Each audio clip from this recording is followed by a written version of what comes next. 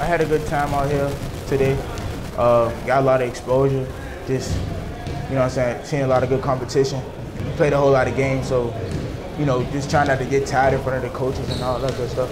Just always work harder than what I'm working now. Just keep up the good work.